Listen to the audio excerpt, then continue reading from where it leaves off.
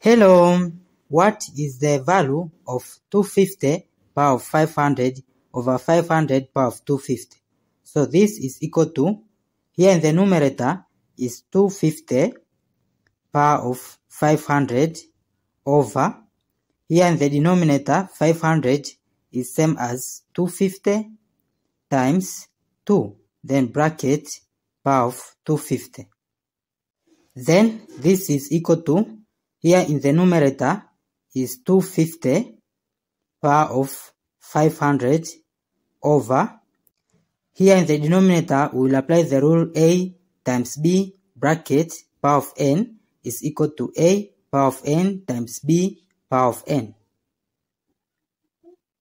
Then we will multiply this power inside the bracket. So it will be 250 power of 250 times 2 power of 250.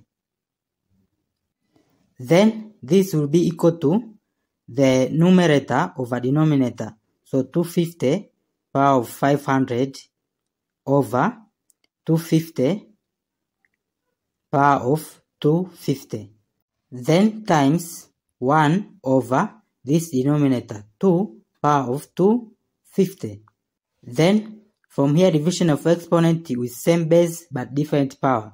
So we'll apply the rule a power of m over a power of n is equals to a power of m minus n.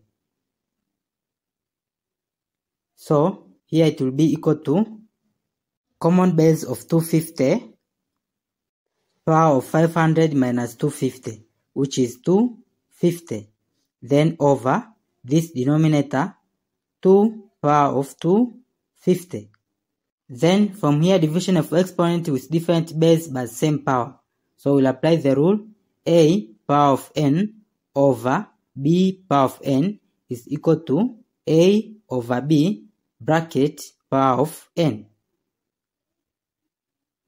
So this will be equal to base of 250 over base of 2. Then bracket common power of 250.